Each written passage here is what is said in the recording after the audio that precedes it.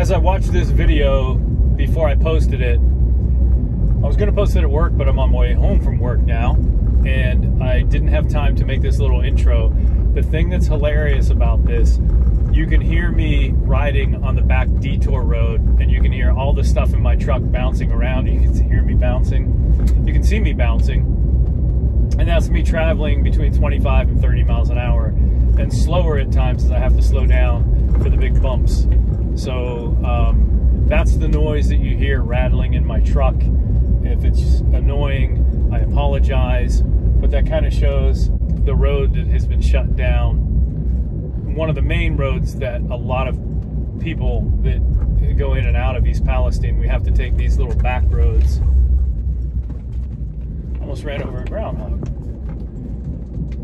Funny how animals don't stop. They're 20 feet away in the grass and they run all the way in front of your truck uh, to get to the other side of the road. But anyway, that's the noise that you hear. It's the rattling on the back road detour from uh, the Norfolk Southern derailment. All right, enjoy the video. Oh, what a late night. So I'm headed to work. I went to bed still later than I normally would pre derailment, but for those of you involved in still caring about the contamination in our town and our waterways, most of you, probably like me, do not get a full night's sleep anymore because there's just so much to do or think about or discuss. But last night was a little crazy because I went to bed at midnight, which is way later than I used to, but oftentimes better than post derailment, but it's way later than I used to pre derailment. So I laid down in bed and opened up the phone for a moment and went off the rails on off the rails. And man, there was some like heated discussions in there. So I had to end up staying, I was up until 2 a.m. and um, I still have the energy to see you, Cindy. So that's good. I, I, actually don't feel bad today, but I got about four and a half, five hours of sleep. Um, and that's after working a full, long, very busy day yesterday in physical work.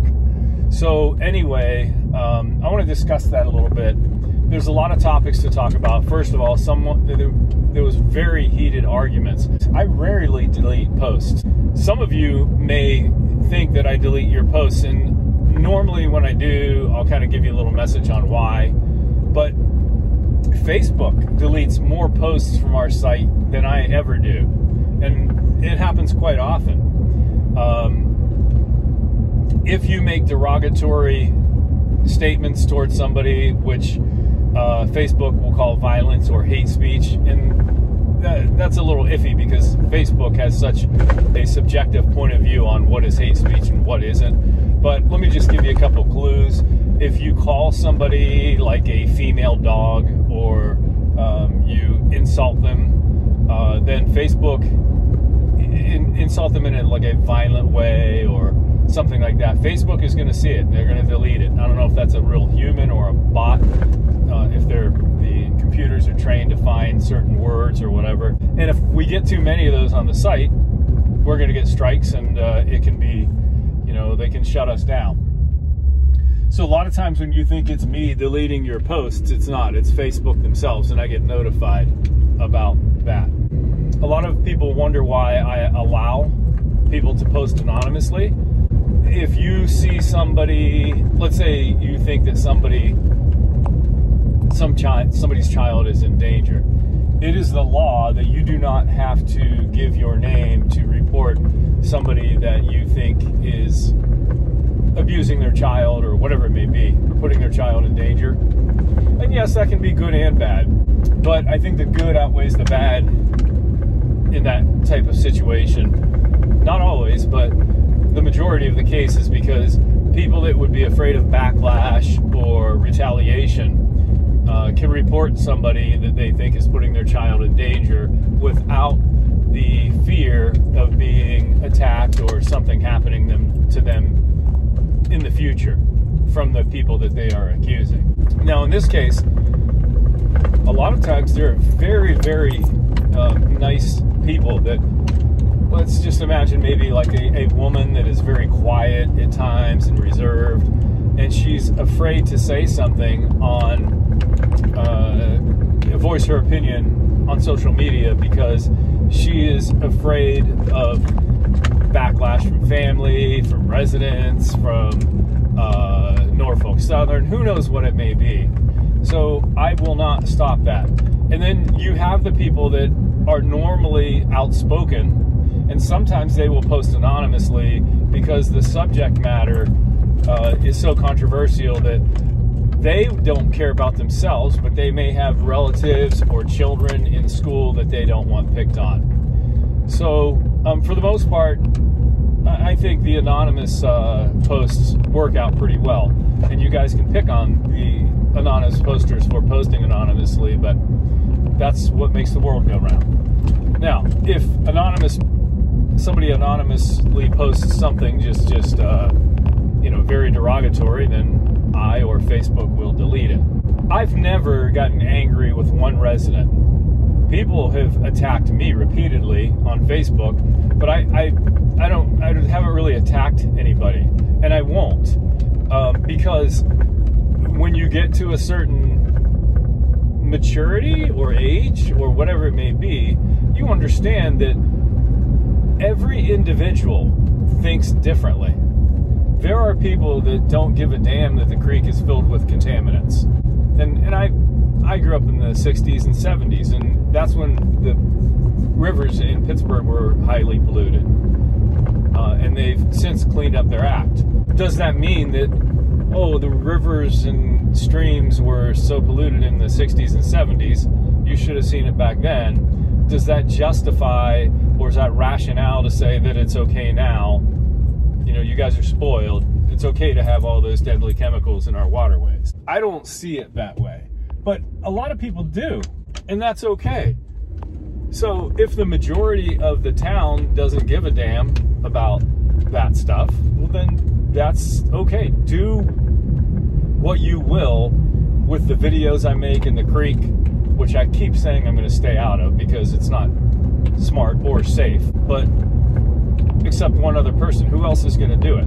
My friend Randy's always in the creeks, and uh, he even wears less things than I do in terms of PPE. But many people have attacked me for being in the creeks and showing the chemicals, and that's fine. I don't get angry with those people.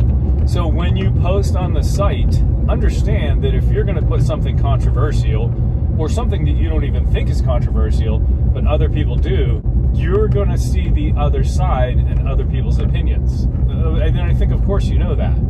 So then you actually can get more people on your side by being cordial to that person, giving your point of view.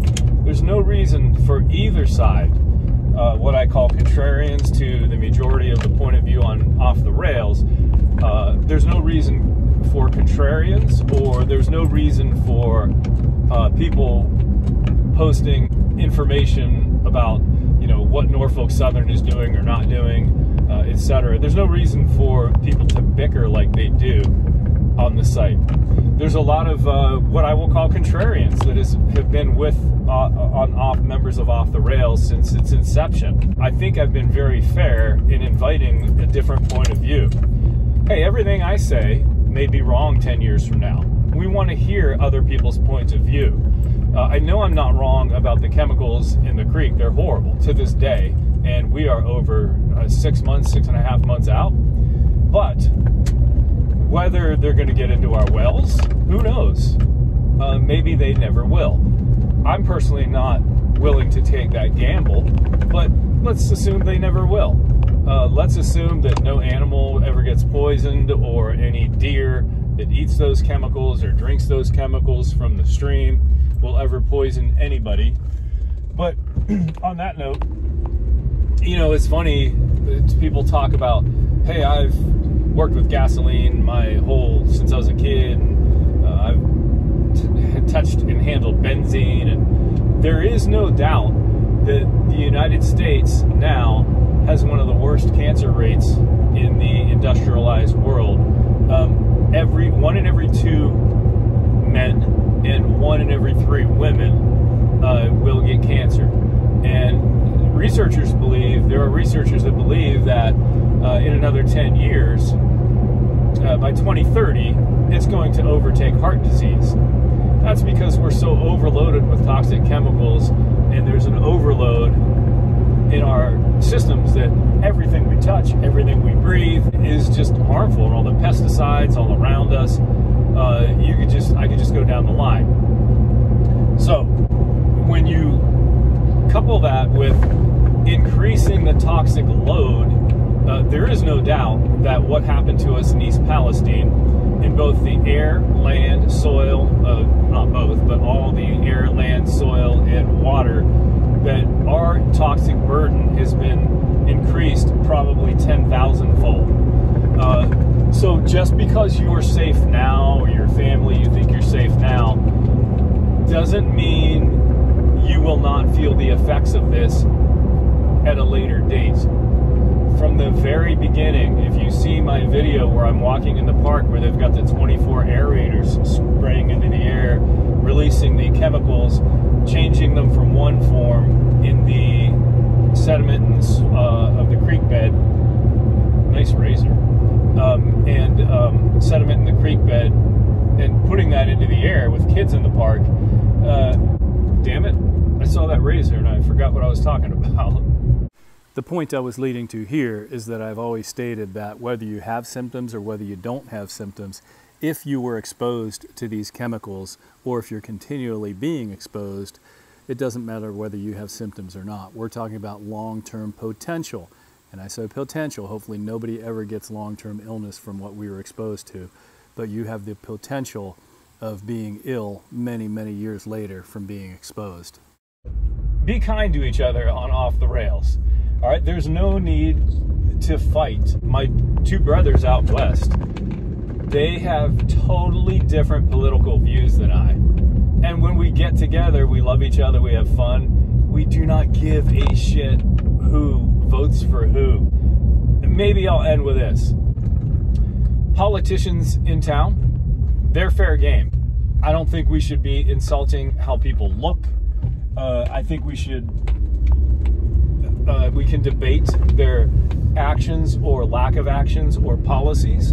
It doesn't really matter how you look or uh, because we all have friends and family members that are all different. Some are heavy, some are short, tall, thin, whatever.